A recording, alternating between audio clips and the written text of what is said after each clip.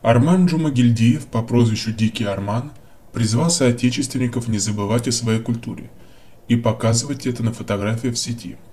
Дикий Арман отметил, что казахам нужно быть дерзкими, как снежные барсы, и всегда держаться вместе. Также он подчеркнул, что казахи должны быть сплоченными, подобно серым волкам. Дикий Арман также объяснил, как показать два жеста – снежного барса и серого волка.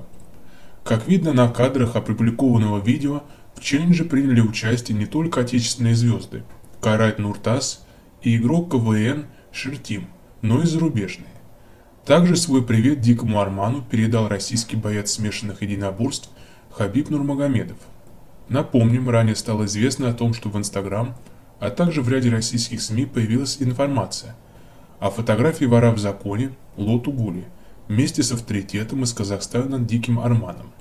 В Казахстане стал известен в последнее время благодаря тому, что сбил другого вора в законе – Квежовича, настоящее имя Гурам Чехладзе – в Турции в ходе его встречи с Лоту Гули.